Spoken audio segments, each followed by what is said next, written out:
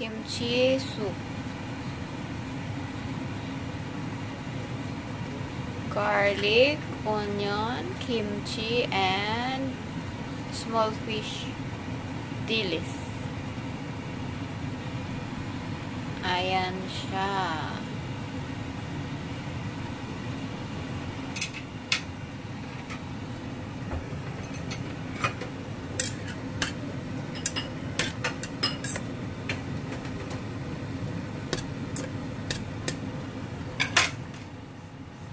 So, ayan na siya. Hindi ko na siya ililipat sa mangkok.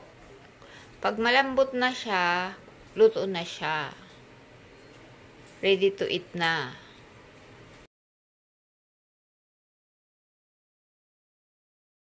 For the day.